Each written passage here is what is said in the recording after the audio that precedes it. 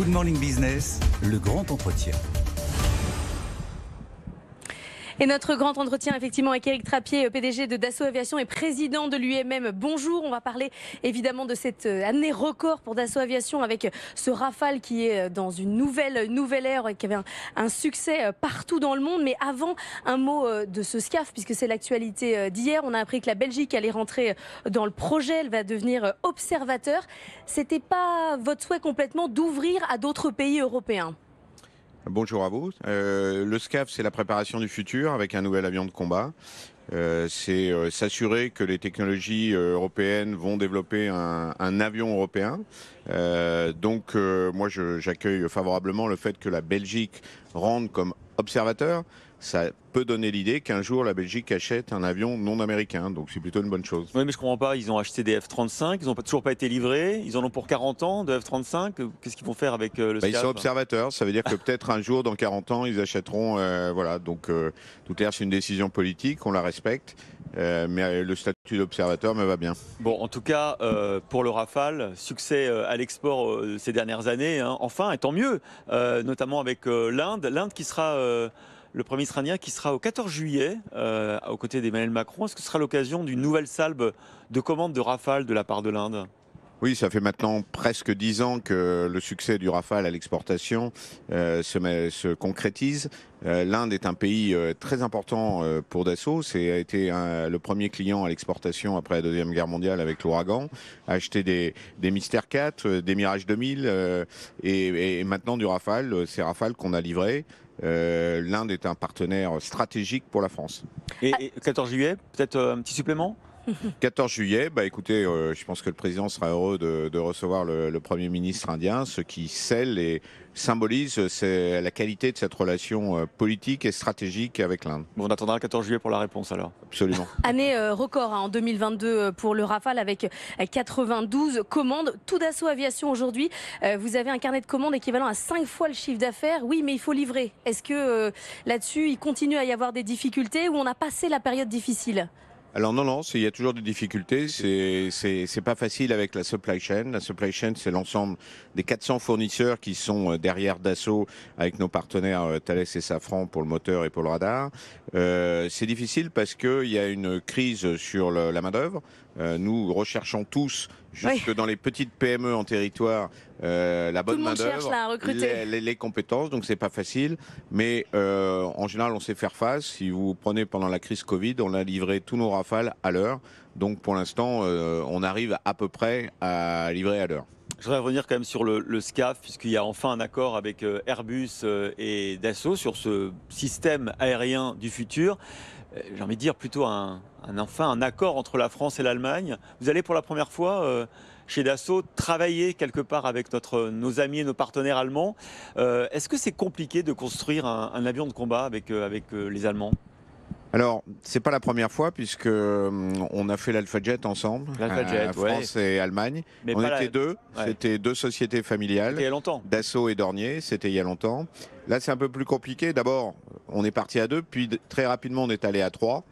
Et euh, j'ai tendance à dire que plus on est de partenaires, plus c'est difficile. Parce qu'il faut répartir la charge. Malheureusement, les États et l'Europe en particulier veulent continuer à faire le juste retour, c'est-à-dire en fonction de ce que chaque pays donne en termes de budget, euh, elle veut un retour sur son territoire c'est pas comme ça qu'on optimise toujours les, meilleurs avions. Euh, les États-Unis font pas comme ça, les Russes font pas comme ça. On a vu qu'avec Ariane, d'ailleurs, ça, ça, conduit effectivement à des difficultés industrielles de faire ça. Hein. on l'a vu sur euh, la 400M, on l'a vu sur Ariane. Euh, bah, Ariane, il y a d'autres difficultés. Je pense que c'est pas tout à fait pareil. C'était un vrai succès au départ.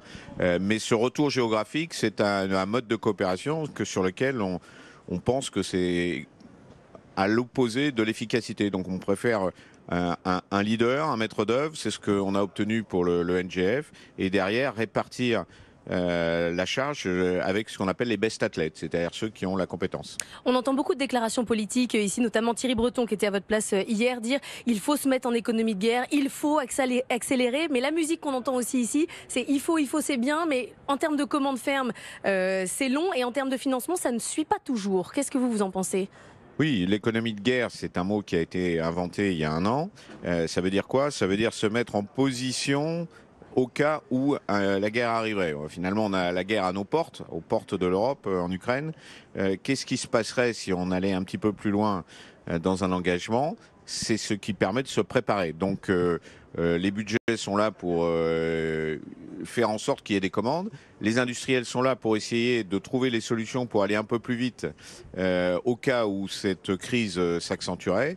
Mais il y a un moment donné, les budgets sont les budgets. Vous savez, il y a un déficit en France, on ne peut pas augmenter à l'infini les budgets. Donc l'idée, c'est d'essayer aussi d'avoir les budgets des autres Européens, ce qui est un peu contradictoire avec le fait que certains Européens achètent d'autres pays. Alors l'autre jambe de- d'Assaut Aviation, c'est évidemment les Falcon, les, jets d'affaires. Là aussi, année record hein, en carnet de commandes, 64 Falcon ont été commandés. La thématique de ce salon euh, du Bourget, c'est évidemment la décarbonation. Euh, ça se pose particulièrement pour les jets, parce qu'ils sont souvent euh, sous les projecteurs, en tout cas pour l'opinion publique. Comment on fait pour décarboner cette industrie des avions d'affaires? Bah, au risque d'être provocateur, en fait, on va décarboner bien avant les autres. Pourquoi? Euh, D'abord, on, on consomme beaucoup moins que les autres. hein. Comme vous le savez, euh, c'est 2% du trafic mondial euh, pour toute l'aviation. C'est 2% du trafic euh, de toute l'aviation pour l'aviation d'affaires. Donc 0,04%. Mais pour moins de gens, évidemment, c'est ce qu'on va vous Pour- dire. Pour, pour beaucoup moins de gens, mais c'est pas ça qui compte. Et l'important, c'est quand même de mettre les efforts là où il faut décarboner. Mais pourquoi on va être en avance sur la décarbonation? C'est qu'on utilise déjà les fameux SAF, dans lesquels on a compris qu'il fallait Les fallait carburants de développer, synthèse ou les carburants, carburants ouais. euh, à partir de biomasse et demain de, de synthèse. Déjà aujourd'hui, tous nos Falcon chez Dassault volent avec 30% de SAF. Ouais. Donc on a déjà décarboné 30%, ce qui est bien mieux que l'aviation commerciale. Et c'est quand l'avion à 100% de, de, de, de, de, de- de Alors, carburant on de- peut déjà mettre 50%, mais on trouve pas les mélanges Eh oui. à, à 30%. Donc là, on travaille avec les, ceux qui fabriquent euh, ces carburants alternatifs. Et euh, il y a un plan aussi euh, européen et un plan maintenant de la France pour favoriser le développement de ces carburants. C'est une bonne chose. Donc, pour aller très vite à 50% tout de suite, puisque les avions le permettent. Et on travaille déjà dans le bureau d'études pour faire en sorte, avec nos amis motoristes, d'aller à 100% Ouais. de SAF. Donc, on va décarboner beaucoup plus vite que l'aviation commerciale, qui, vous- qui consomme beaucoup plus. Et vous croyez aux au jet euh, à hydrogène ou au jet électrique? Ah, Écoutez, nous, pour nous, donc je parle en mon nom, je ne crois pas à l'hydrogène, parce que l'hydrogène, c'est très dangereux, et que quand vous transportez des passagers, il faut assurer euh, la certification de ces avions-là, et donc être sûr qu'on tient les fameuses probabilités de crash euh, qui soient le plus faible possible, 10-9 pour vous donner un chiffre. Et donc ça, avec l'hydrogène, nous, on a étudié, on a regardé, et on a conclu que c'était- c'était pas possible dans un avenir euh, de, décennies. Il va donc falloir euh, des SAF en quantité euh, plus qu'industrielle. On a évidemment une filière qui va se construire en France, mais les besoins sont énormes. On a les États-Unis de l'autre côté qui, avec l'IRA, clairement facilitent les choses, mettent vraiment l'accent sur la question des SAF. Vous allez en acheter aux États-Unis. Vous dites c'est bien parce que globalement on va pouvoir répondre à notre demande. Ou vous allez prioriser les SAF qui sortent du côté européen. Aujourd'hui, on les achète chez Total, euh, donc au- ici au Bourget. Euh, quand euh, nos avions décollent du Bourget, ils peuvent utiliser le, le fameux mélange à 30% qui nous est fourni par Total. On utilise d'autres sociétés à Bordeaux.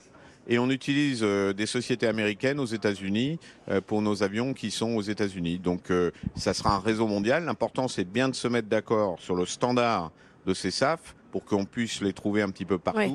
et qu'il y ait de plus en plus de compagnies euh, qui les développent et surtout les produisent parce que le volume va être important. C'est pour ça que je pense qu'il faut concentrer les volumes de SAF sur l'aviation.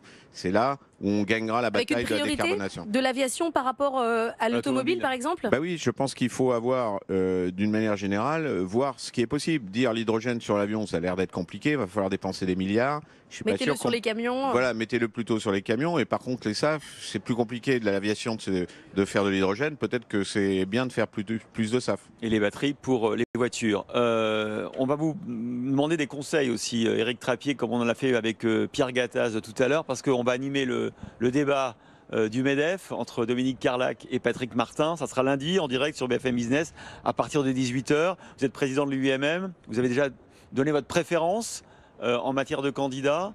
Euh, Qu'est-ce que vous attendez de ce débat de lundi? Bah, écoutez, je pense que c'est toujours bon d'écouter les candidats. D'abord parce que ils se stimulent l'un l'autre. C'est-à-dire que si vous prenez le début de la campagne, la fin de la campagne, euh, ils se répondent. Tout ça doit rester euh, courtois puisque à la fin, euh, tous ces candidats, ces deux candidats seront ensemble dans le MEDEF et nous serons tous ensemble pour euh, piloter. Et il y a un agenda euh, important à venir dans les mois qui viennent. On parle de l'agenda social, on parle euh, de l'économie d'une manière générale. Euh, Donc euh, quelque part, il est important qu'ils se rejoignent. Et donc euh, cette campagne permet aussi euh, aux deux candidats de bâtir leur programme et de se challenger sur ces programmes-là. Donc euh, moi je trouve ça euh, très bien du fait qu'ils se rencontrent euh, plusieurs fois. Pierre Gattaz euh, disait qu'il fallait un MEDEF plus offensif pour les prochaines années. Est-ce que vous êtes d'accord avec ça? Écoutez, ça sera euh, au futur président ou à la future présidente de s'exprimer. Nous, on soutient Patrick Martin, comme vous le savez. Euh, dès le début juillet, il faudra, euh, en fonction de ce que le gouvernement programme, nous, ce qu'on on- on préconise, c'est qu'il y ait d'abord un dialogue social. Donc, euh, il y ait d'abord une réelle négociation entre les partenaires sociaux et euh, le patronat, euh, toutes les organisations patronales, avec CGPME aussi et l'UDP, qui sont les trois euh, représentatives, pour être capable de bâtir, comme on l'a fait sur le partage de la valeur, euh, euh, discuter, négocier et trouver des accords. On arrive à trouver des accords. Et simplement après, le gouvernement dit, OK, ça me va. Et surtout, après, il faut pouvoir le faire passer au Parlement. Donc, c'est tout un programme assez important. Dès le début juillet, on sera tous au, au boulot là-dessus. Merci beaucoup Éric Trappier d'avoir été avec nous.